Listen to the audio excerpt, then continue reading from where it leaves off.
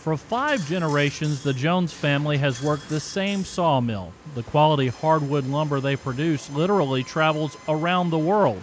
But each year they wonder if this year could be their last. J.M. Jones Lumber Company survived the Mississippi River floods of 1927, 1973, and 2011.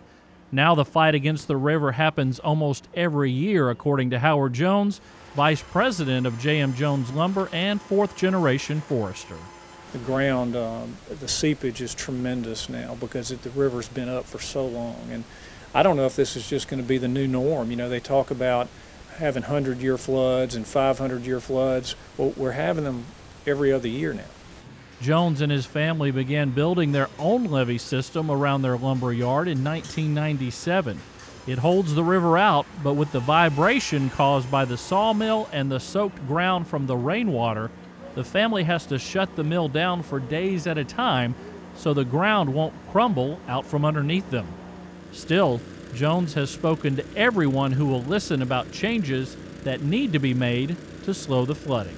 There's now a lawsuit that Delbert Hosemann, the Secretary of State, has filed on behalf of the 16th section school lands against the Corps of Engineers. There's over 300,000 acres now of private landowners who have joined in this lawsuit who are tired of their land being flooded. So the, the Corps is being sued now based on their policies. Despite holding back the water at the mill, Jones is also concerned about the damage flooding will do to the forests he logs and the future of those trees. Many of the species of trees have not adapted the ability to sit in water for months at a time, making the trees degrade at a rapid rate. Also, Mississippi River floodwaters leave behind sand, making the soil less than ideal for new trees to grow. Jones says this will affect the timber industry in the near future. Combined with a 25% tariff on all his goods going into China, Jones feels surrounded on all sides and left wondering when or if it will all end.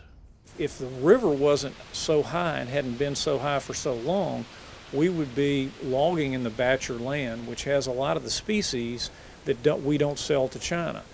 The number one species we sell to China is red oak. And red oak grows in the hills, and we're forced to work in the hills right now because we cannot get in the swamps. So it's just, the, the two things are really tied, very much tied together. It's a terrible timing to have a high tariff with China.